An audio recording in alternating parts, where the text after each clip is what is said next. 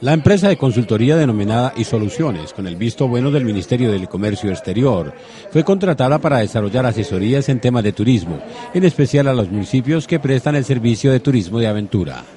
El Fondo de Turismo y el Ministerio de Turismo ha buscado eh, formar como evaluadores a funcionarios de las alcaldías para que empiecen a hacer el cumplimiento de la resolución 3860.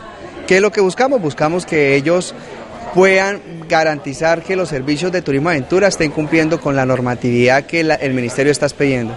Las obligaciones que emanan de la resolución son específicas, dijo el orientador de la charla. Cumplir con unas normas técnicas sectoriales bajo las modalidades de turismo aventura. Quienes ofrecen servicios de turismo aventura deben cumplir con esas normas. Quienes revisan esas normas, los funcionarios de las alcaldías y la policía de turismo. Bajo la modalidad de rafting, parapentes, perología, canoning, eh,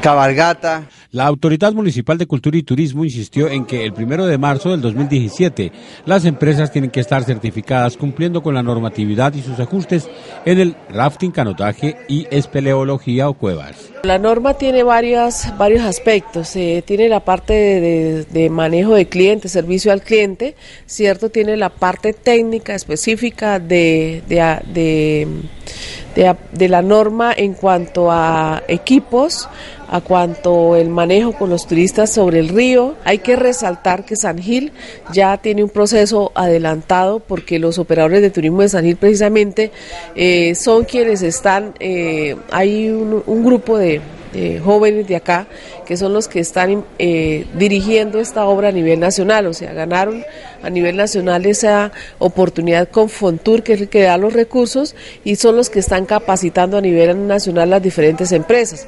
El capacitador indicó que hay un año para que las empresas de deportes de aventura implementen esas normas de estricto cumplimiento, las cuales deben estar elaboradas para Semana Santa para hacer los debidos controles.